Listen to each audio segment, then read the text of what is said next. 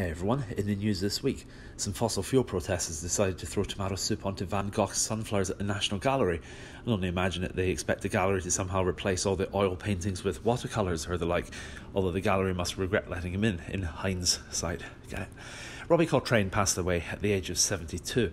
I've not got a joke about that, but I hear that Frank Carson does, and it's a cracker. John Cleese, he's going to be hosting a programme on GB News, focusing on things like cancel culture and the like, although as John would presumably be the first to say, don't mention the culture war. Prince Andrew is apparently going to be looking after the Queen's corgis now that she's passed, although that does make sense given that Prince Andrew does have a lot of experience in grooming. If you wanted to re-watch the Queen's funeral, by the way, the BBC are apparently going to be showing the highlights in a programme called Madge of the Day. An all change at number 10, or should I say number 11, after the Chancellor was sacked in favour of Jeremy Hunt with an H. I know someone who was once sacked five weeks into a job after a bunch of money went missing, and to be honest, Kwasi should just be lucky he doesn't have the police knocking on his door. So, anyway, with Jeremy in the job, I guess it'll be a few months of boring nothingness as far as the government goes, assuming that Liz Truss stays in her role as Prime Minister. The BBC does seem to think there's going to be an election, but why would the government possibly call one?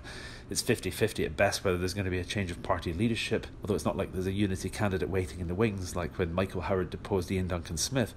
As for Kwasi, though, a lot of it was his own fault. He did himself out of a job, really. You know, you don't need a chancellor if there's no money left to manage.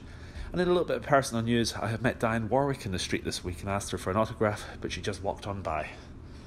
Anyway, see you next week. If you like these, click subscribe.